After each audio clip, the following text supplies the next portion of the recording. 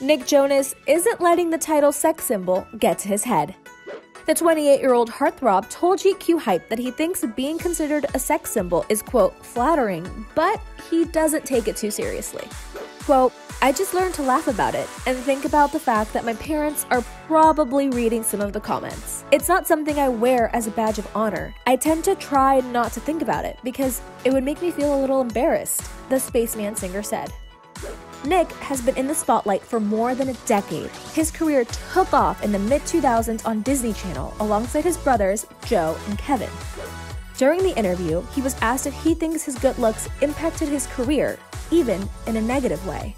Quote, I don't know if I'm at liberty to say that or not because it's something about me, he said. That certainly doesn't affect my ability to appreciate someone else's work, but we don't all think the same way, so I'm not sure.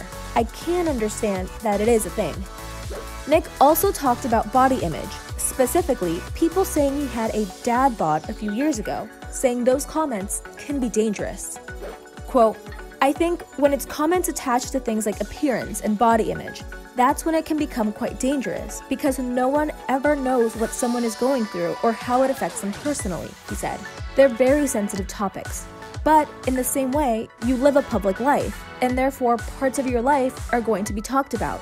And it doesn't necessarily mean it's fair, it's just part of your reality.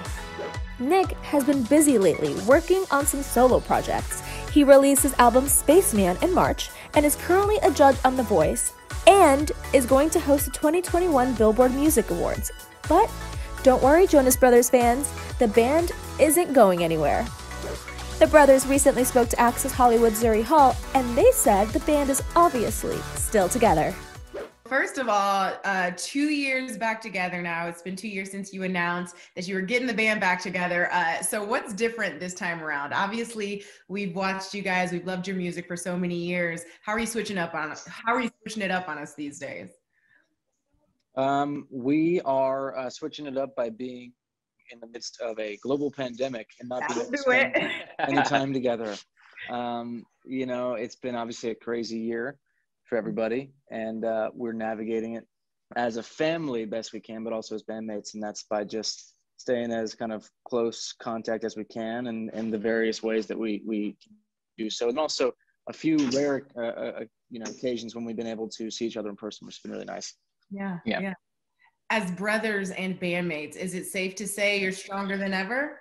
Recently, with Nick releasing this project and uh, you know Spaceman, and then being able to do that, and us have the ability to support it and ex- be excited about it and then knowing where you know that the band is obviously still together still doing its thing is exciting and just shows kind of like all the different sides of everything we can do mm-hmm. which is really cool. And kevin we loved your snl cameo when nick was hosting. Whose idea was that? How did that moment come together? Because it was hilarious. It's actually nick's. Um i i think you what called me and like pitched it before you even got like to the writers room. I think that was the way it worked right yeah, well, I, I figured, um, you know, it would be good to have at least one person in the audience I knew would laugh at my jokes. And so I called, called, Kevin to, to come and, and be there. Yes. And I had a couple other friends that were, were present. Okay. um, but I was, I was happy Kevin decided to do it. It was a good time. It was yeah. great.